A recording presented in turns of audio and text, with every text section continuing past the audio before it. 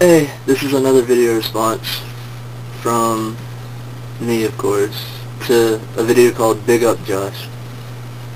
Anyway, Stu, as you call yourself, I'm not with Wendy, and I would prefer to waste my breath instead of have cramps in my hand writing on little tiny pieces of paper.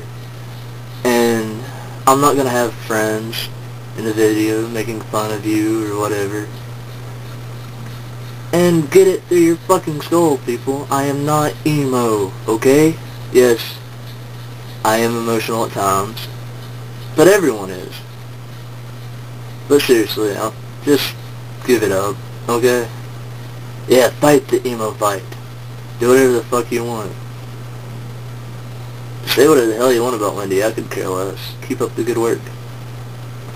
Later.